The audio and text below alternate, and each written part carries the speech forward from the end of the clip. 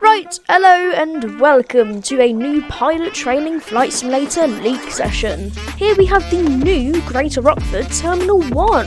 This is a huge improvement from before to the honestly disgusting beige colour.